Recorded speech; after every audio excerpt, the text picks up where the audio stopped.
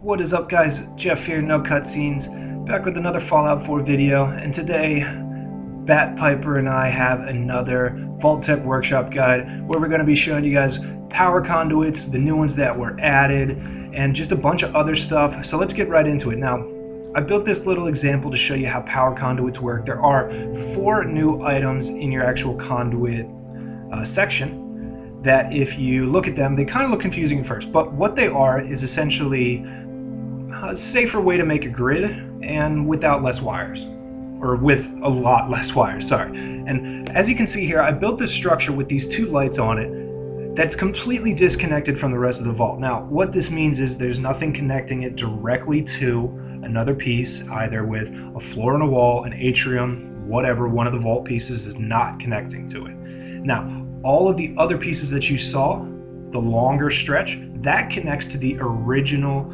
vault piece that you start off with, that everybody starts off with. Now, what that means is if you place one of these vault power conduits along the wall, this area, the one that is still connected to the original uh, main piece, if there were any lights in there would light up, but that disconnected piece with the red and green wouldn't. So what we need to do is place one of the vault prefab walls there. I already have two of them, and as you can see again, it's connected all the way up there. This is pretty far down in the vault, and it works because of that main generator, that 150 power massive one that's off in the uh, left side of the vault, like right in the entrance. That courses throughout the entire vault workshop area. So if we put one of the walls here, it makes a connection, then you're able to actually put one of the power conduits on a wall. They snap to any of the vault walls except the wide ones. Let me turn off the light here so I can show you guys what I mean by all the lights within um, a certain radius. It's it's a four by four radius if you think of that way, four out and four deep. Any light that you have in there will light up. I actually have a mod that triples that, but the vanilla base radius is four. And as you can see, since that is four away, lights up perfectly. I already had some other lights in there too, some flashing siren lights, and because again it's within that four radius, they light up as well. And I'm gonna make this area like my reactor, so if like, you know, something bad goes down, like we can have these lights come on or something with some logic gates, but that'll be another scenario. But yeah, that's how grid power works in the vault. It's really simple. You just have to make sure everything is connected to that original and then put one of those power conduits on the wall.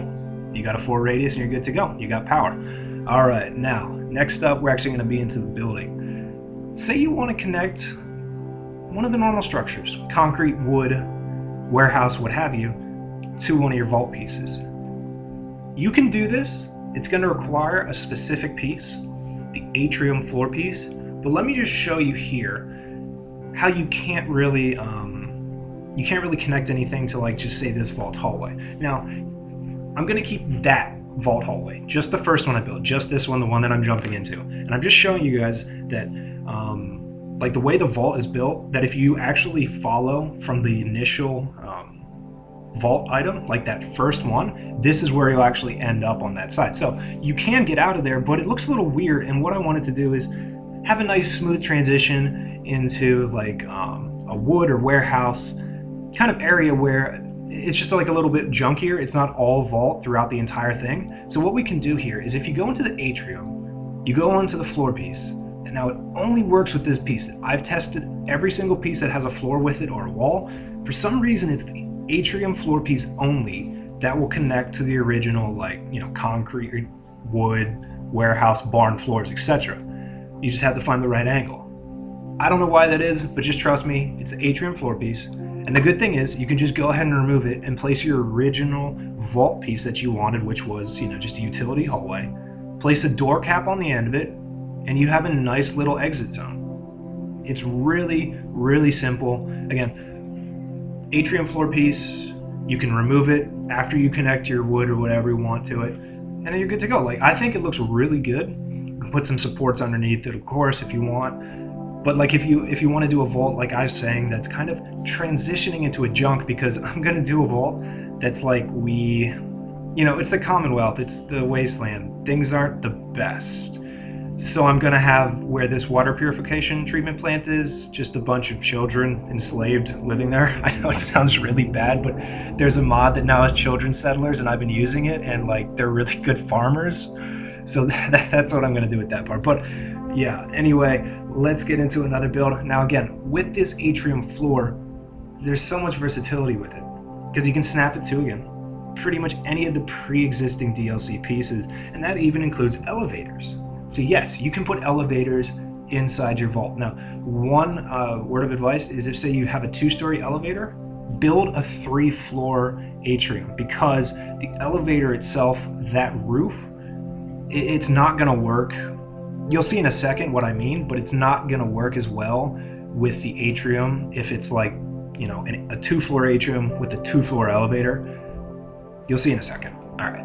You can easily place it again to that atrium floor. You can't do it to the walled ones, but you'll see how it's like, you know, there's just a little bit of a gap. If you do a three floor atrium and two floor elevator, or a four floor atrium and a three floor elevator, you can overcome that really easily. And then, of course, you can take away the atrium pieces and put down, or the atrium floor pieces, and then put down like an atrium wall or bottom or window.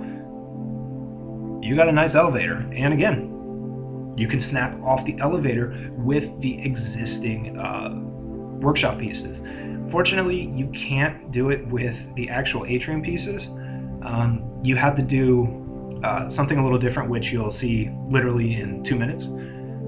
But you can snap it with, of course, the barn, wood, concrete, and it snaps to the wall. You have a perfect elevator. You can make this, of course, for yourself if you want to do like, you know, your own section of your vault. Um, your settlers can't use it, of course. But I think it's just a nice touch. I wish they would have included some way to make, you know, usable elevators for like five or six stories for the vault. But I mean, you can basically do the same thing. It's just going to be a little bit, you know, junkier themed. I think it ends up coming out okay. You know, let me know what you guys think. And you can as well put like the warehouse or the barn walls around the outside of it. So you can make like, you know, that uh, greenhouse style, whatever. So I think it's really cool that you can do that with elevators. But um, I'm gonna show you guys how to do just another little trick with Atrium. I've built an overseer's office. Now I started with this staircase and just went from there. What you always wanna do if you're doing a common room, there's of course the common section in the vault now with like an atrium or even just a utility or domestic hallway.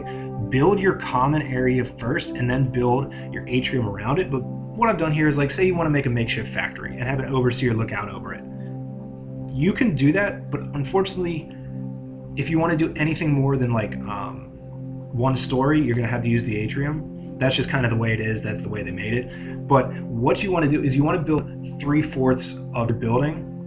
And what I mean by that is the part that is going to be touching your actual common area, like your overseer's office or whatever, or your room area, sorry, like the overseer's place, you don't want to have anything built there, but like you're going to build it eventually. And what you're going to do here is you're just going to build it. So like I said, build the overseers first and then build down below.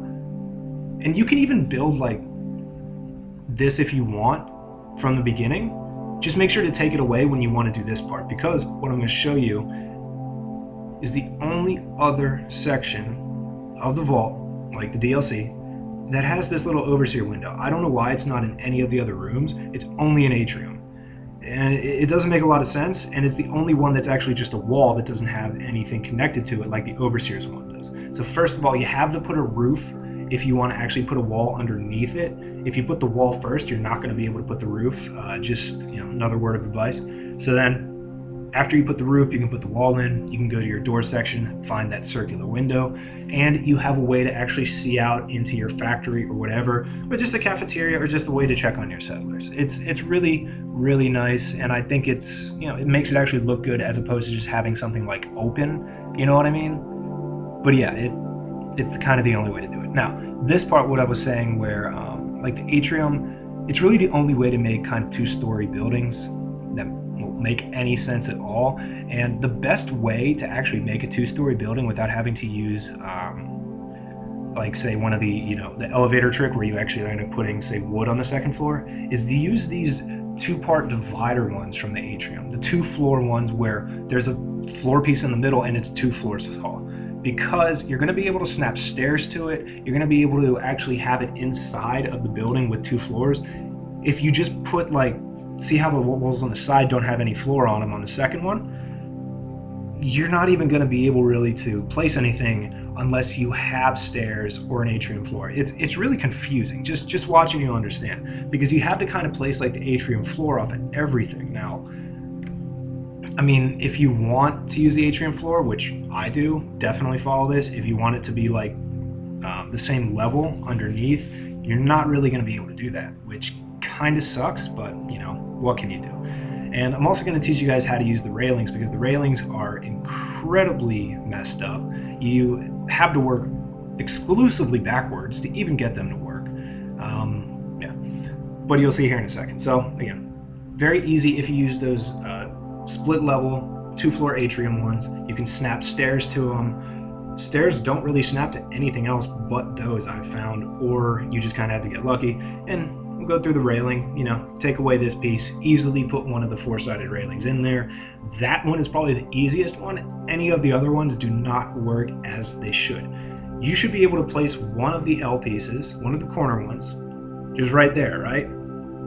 But no, it for some reason goes onto the other side of the piece, which, yeah, makes no sense. So what you have to do is where you kind of want that um, railing to go, you have to place an atrium floor piece there. And you, you kind of just have to get lucky, find the right spot, you know, trial and error. It just takes a little bit of time, but you'll see that it eventually will jump to the section that you want it.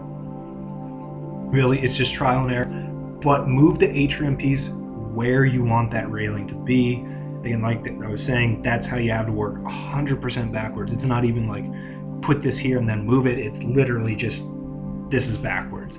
I don't know why. I hope you'll fix it. If not, use this technique. It'll help you. You might have to remove some of your pieces that you've placed, but as long as you can place them back and you make sure that you do or save before, you're going to be okay. And like like I was like I was saying here, I know that you can remove move the staircase back either way.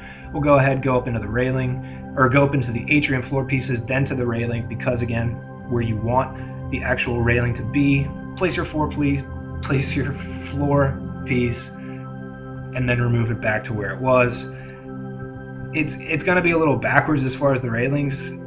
This is really the only way like I found them to work. If you guys have any other um, you know ideas or suggestions or you're having any problems or you just know like a better way to do something, please let me know. But I'm gonna be doing a few more of these guides because vaults, yeah, they're they're kind of confusing. And even you know I've probably played I don't know, 15 hours of it so far, and there's still a lot of stuff I'm finding out, especially like connecting to the existing vanilla and the older DLC structures. There's a lot. So yeah, let me know if you guys have anything in particular. Thanks for watching this video. Oh yeah, and thank you guys so much for 2,000 subs. I'm gonna do probably like an actual channel update where you see my face in a bit, just you know say thanks. But uh, yeah, thank you guys so much. That's fucking awesome. But I hope you enjoyed this video. Stay tuned for more. I'm to have uh, part two of my Outpost of Moonship build very soon. Thanks for watching. Peace.